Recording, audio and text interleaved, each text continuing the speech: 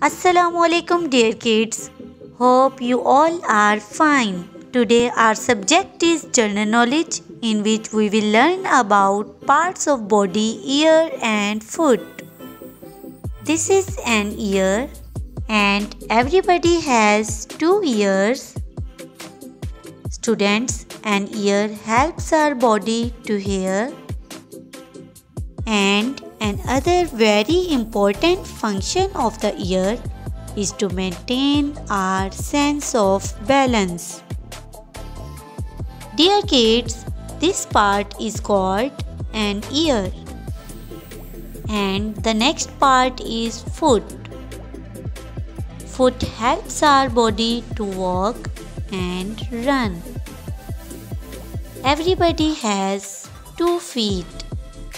Students, a foot has five fingers. The feet have flexible structure that help to perform activities like walking, running and jumping. Students, today we have learned parts of body, ear and foot. Have a great day. Allah Hafiz.